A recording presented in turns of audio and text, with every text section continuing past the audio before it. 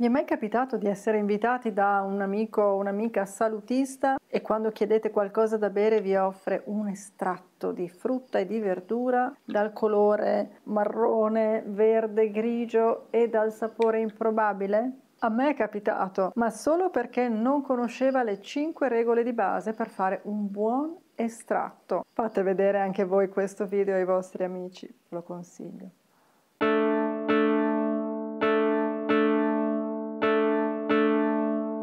Anche tu ami i centrifugati, gli estratti, i succhi e hai deciso di darti alla salute da bere? Ottima decisione, hai tutto il mio appoggio. Ma lo sapevi che per fare un estratto equilibrato e soprattutto buono di sapore ci sono alcune regole fondamentali da seguire? Io seguo sempre 5 regole importantissime che fanno la differenza tra un estratto che bevi per dovere e un estratto che bevi per piacere. Perché voglio rivelarli in questo video? Perché come naturopata ho motivato moltissime persone a bere gli estratti, ma poi mi hanno detto che facevano dei succhi sicuramente sani, ma imbevibili dal punto di vista del sapore e così si sono autodemotivate. E siccome il mio motto è mai demotivarsi quando si tratta della tua salute naturale, ecco perché ho voluto fare questo video. Ti spiegherò le 5 regole per fare un buon estratto, seguito da una buonissima ricetta di un estratto completo e gustoso. La prima regola è la più importante. Ricordatevi che scegliere e abbinare la frutta e la verdura per un estratto è come scegliere e abbinare gli ingredienti per una ricetta di cucina. Non basta buttare in una pentola un po' di questo e un po' di quello per fare un buon piatto, bisogna abbinare bene i sapori. E lo stesso vale per fare un buon bicchiere di estratto.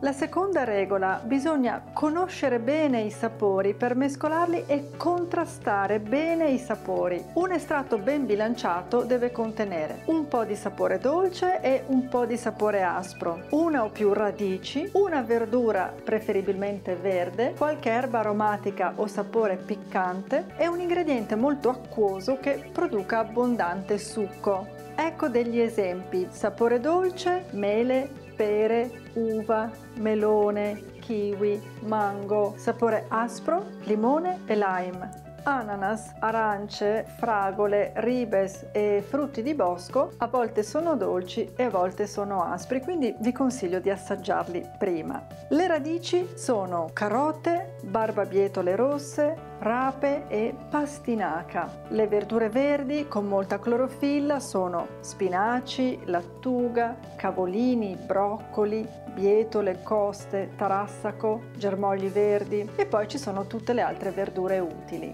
Gli elementi molto acquosi sono per esempio cetrioli, finocchi, sedano, pomodori, melone e anguria. Le erbe aromatiche, basilico, prezzemolo, coriandolo in foglie, menta, citronella e la nota piccante è data da zenzero e peperoncino, da usare con giudizio.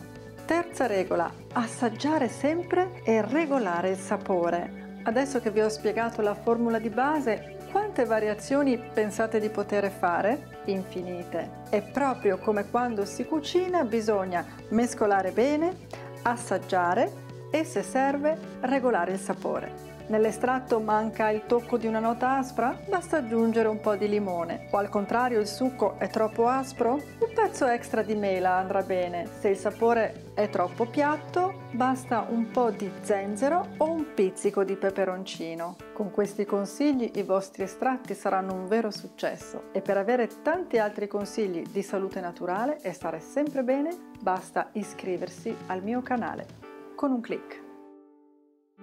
Quarta regola Buccia o non buccia? In molti casi va bene lasciare la buccia per assimilare tutti i nutrienti, ma bisogna fare attenzione a due elementi. Primo, bisogna avere un estrattore abbastanza potente che non si intasi con la buccia, altrimenti è controproducente metterla. Secondo punto, bisogna usare solo prodotti biologici o del proprio orto e comunque essere certi che non sono stati trattati, perché la chimica contenuta nella buccia non è un buon ingrediente ingrediente per l'estratto. Come regola generale comunque non usare la buccia se può alterare il gusto, come quella degli agrumi, o il colore del succo. Quinta regola, anche l'occhio vuole la sua parte. Si mangia e oggi dico si beve anche con gli occhi in questo caso. Non fate un estratto grigio o marrone, a meno che non lo mettiate in un bicchiere una tazza rigorosamente opachi, soprattutto se volete coinvolgere i figli o il partner in questa buona abitudine. Quando si mescolano gli ingredienti bisogna tenere conto anche del colore finale. Per esempio, se dovete dolcificare un succo verde, meglio la mela o la pera e non le favole. E ora la mia ricetta preferita per un estratto davvero salutare, ricco di enzimi vitali, vitamine, minerali, clorofilla, antiossidanti, fitonutrienti e tanto sapore. Mettete frutta dolce come una pera e una mela, mezzo limone senza buccia, due carote, una manciata di spinaci freschi, un cetriolo e un pezzetto di zenzero. Che sapore ha? Provatelo e scrivete qui sotto nei commenti che cosa pensate e se venite presi da un impeto creativo scrivete le vostre variazioni. Mettete un bel mi piace a questo video, tanti mi piace, tanti nuovi video. Condividete questo video sui social e con i vostri amici così quando vi offriranno un estratto sarete più sicuri che sarà buonissimo. Aspetto di leggere i vostri commenti, le vostre domande e le vostre esperienze e se volete approfondire questo argomento andate nel mio sito all'indirizzo che trovate nell'info box qui sotto. E iscrivetevi al canale naturalmente. Ciao!